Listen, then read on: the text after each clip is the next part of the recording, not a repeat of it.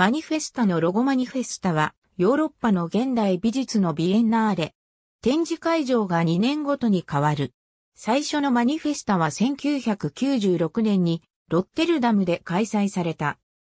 主催者はアムステルダムに拠点を置く独立非営利団体。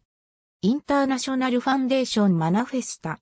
通常のビエンナーレやトリエンナーレとは異なり、会ごとに開催地が変わるのがマニフェスタの最大の特徴である。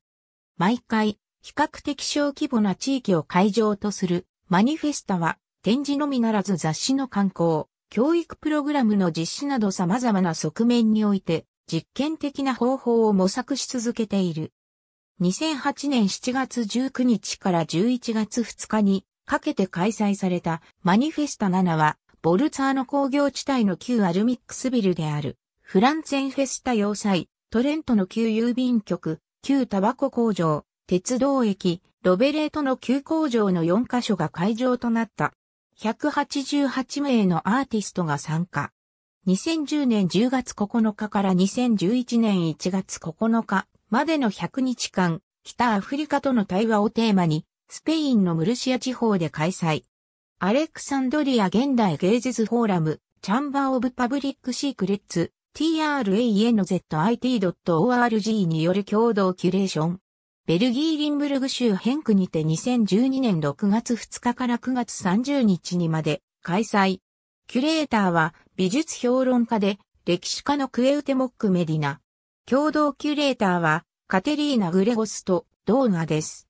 それはベルントヒラベッヒャー、マックス・エルンスト、リチャード・ロング、マイケル・マシース、ヘンリー・ムーアを含む100人のアーティストの作品を展示。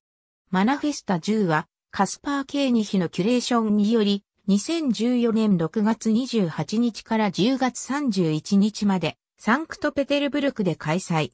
ケーニヒは、博物館の所蔵品から古い作品を並べた現代、美術作品を発表した。メインの展示会場には、エルミタージュ美術館の新館が使われた。